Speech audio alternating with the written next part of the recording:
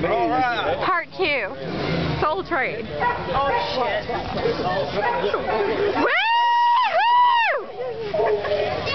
Ten. Hey.